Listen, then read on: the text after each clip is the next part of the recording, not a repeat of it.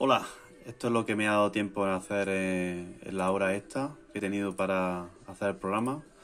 La idea es manejar la- los LEDs del cartel de esta forma. Aquí se selecciona un color determinado que se queda fijo, el difuminado que va cambiando con diferentes colores y el movimiento que es el que ya hacía antes los LEDs. Y nada, esta es la interfaz que me ha dado tiempo a hacer. A ver si lo paso al SP12. Hasta luego.